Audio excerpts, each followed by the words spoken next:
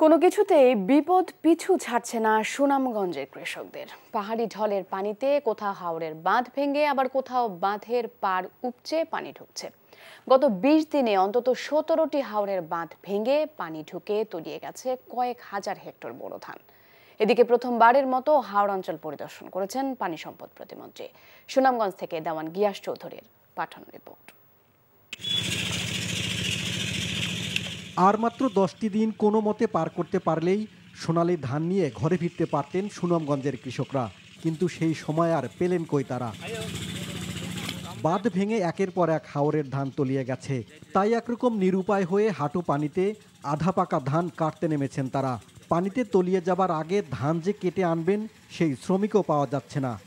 আকাশের কালো মেঘের সাথে মিলিয়ে গেছে কৃষকের সোনালি হাসি। কেমন করে পরিশোধ করবেন মহাজনের ঋণ? আর সারা বছরের হিসেব তো বাকি। গত দুই দিন ধরে পাহাড়ি ঢল ও বৃষ্টিপাত বেড়েছে সেই সাথে নতুন যোগ হয়েছে কালবৈশাখী ঝড় আর বজ্রপাত। ধানটা পানির নিচে দাঁড়িয়ে ডুবি এখন আমরা তো ধানটা ফাঁকছেও না পুরা মতো। আর আমরা ধানটা এই যে কিতা করতাম। আমার এই আট বিঘা জমিন আছিল সব পাইনে নিচে এক বিঘা জমিন খাটছি। অনেক বাচ্চা কাচ্চা লইয়া চলতাম গিলা খাইতাম গিলা। পঞ্চাশ হাজার টাকা মতো ঋণ করছি। ঋণ করে কাঁচা ধান কাটতে পারি মাননীয় প্রধানমন্ত্রী যে গরিব সাহায্য করে গরিব কৃষক বাঁচবো আর কি। চলতি মাসের প্রথম দিন থেকে সুনামগঞ্জের হাওরে বাঁধ ভাঙা শুরু।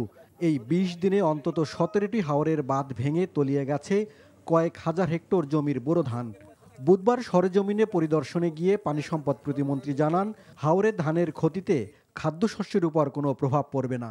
পুরো দেশের খাদ্যশস্যের পরিমাণের মজুদের উপরে এর কোনো কোনো প্রভাব পড়বে না। আপনারা যদি এটা খোলায় ফাঁপায় রিপোর্টিং করেন, তাহলে অসাধু ব্যবসায়ীরা এটা সুযোগ নিয়ে তারা এই এইটাকে তারা চাউলের দাম বাড়ায় দেবে, খাদ্যশস্যের উপরে তারা একটা বিরাট বিরাট একটা প্রভাব সৃষ্টি করার চেষ্টা করবে।